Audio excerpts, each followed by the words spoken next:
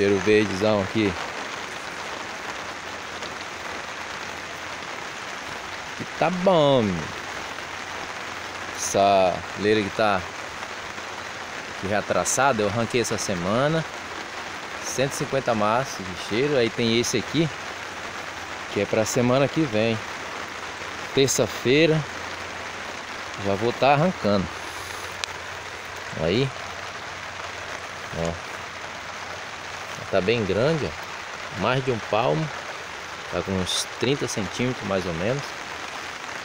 Essa aqui é foi a primeira estufa que eu fiz. Aí tem aqui do outro lado.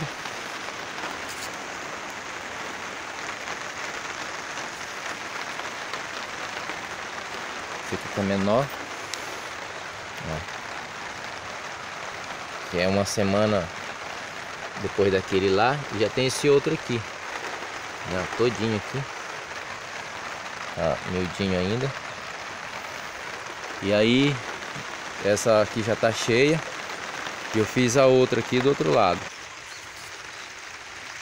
Essa aqui foi a que eu fiz esses dias agora.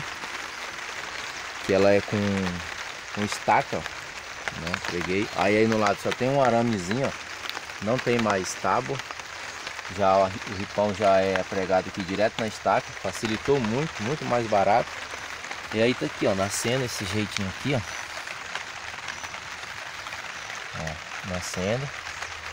E aqui já tem a outra que eu já plantei, essa segunda agora. Aí como você vê, tem essas estacas aqui no meio, eu coloquei para reforçar mais, né? E ficou muito bom.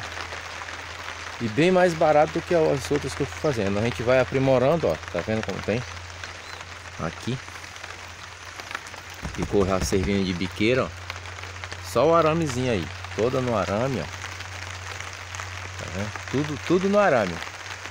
Aí ficou melhor do que as outras que eu tava fazendo. Muito mais seguro, o ferro ficou em cima da ponta da estaca aí, ó. Ficou muito bom, muito bom mesmo.